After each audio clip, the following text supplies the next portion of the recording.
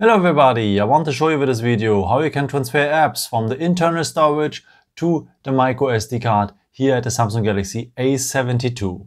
Okay, so for that we will need the settings for. So just scroll down here, then go to the symbol for the settings. And then we, we need to scroll down to the point apps. So, and here we will find the list with all our apps here on the phone. Uh, let me tell you first, um, if you want to transfer uh, apps from the internal storage to the SD card, it doesn't work with all the apps. So most of the time it just works with gaming apps. So um, just choose the app you want to transfer.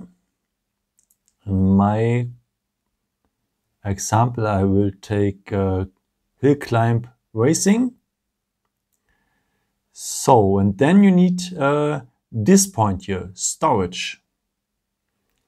So and if you tap on storage and if you see that point here, so the opportunity to change, then it is possible to transfer this app here to the SD card. So let's go here on change and then it gives you the opportunities from the internal storage to the micro SD card. Just confirm the SD card, go then here on move and then um, the phone is transferring the app from the internal storage to the SD card. So this takes sometimes a few minutes, so it's depending on the speed of your SD card. And yeah, later you can do also the same thing from the SD card to the internal storage. And as I said, it doesn't work with all the apps. So I've tried also with WhatsApp. It doesn't work, by the way. So really most of the time you can just transfer gaming apps, but it makes also a lot of space.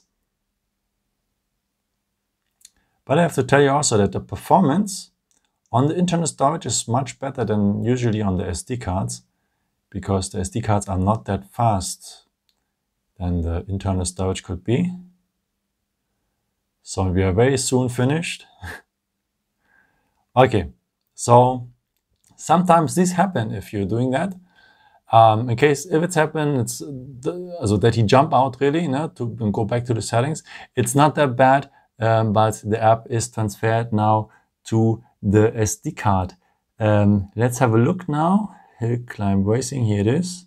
So then we go on storage, and if I check here, storage used is now the external storage, so our SD card. Same thing, by the way, if uh, as I said, if you want to bring it back to the internal storage, may if you see that have uh, performance problems or something something like this, you can go here and change and um, take the internal storage again um, to, also go then on move, to bring it back to the uh, internal storage. And that uh, most of the time goes uh, more fast because as I said, the internal storage is much faster as we have seen right now. Okay, um, yeah, that's it. Um, yeah, I hope I could help you with this video and answer a question. And uh, yeah, maybe if you want, you can leave me a nice comment or give me something up. That would be very helpful for my videos. Uh, thank you so, so much for.